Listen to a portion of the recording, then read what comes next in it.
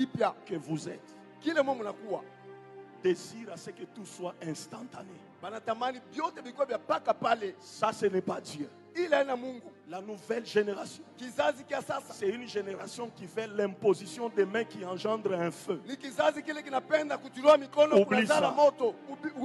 C'est-à-dire, la nouvelle génération, c'est une génération qui pense que quand je termine de prêcher, je descends